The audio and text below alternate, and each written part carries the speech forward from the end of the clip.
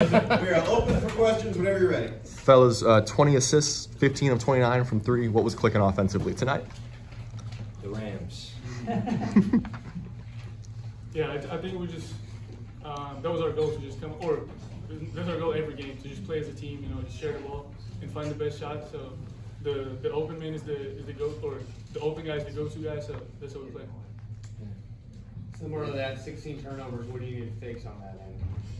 Uh, maybe just a couple a couple of them were just some drives where they're reaching. So just reading the the, the quick kicks uh, that we have and uh, yeah, just being more solid.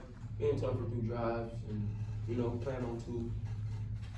Um, a quick, a quick, it'd be a quick, a quick cleanup, nothing, nothing too crazy. Joe, you had the back-to-back baseline dunks uh, midway through that second half, I think. I think Phil drew a charge during that sequence. Walk us through that. It seemed like that was kind of the knockout blow for the game. Okay, let me take. let me tell you what happened. Theo threw me the ball.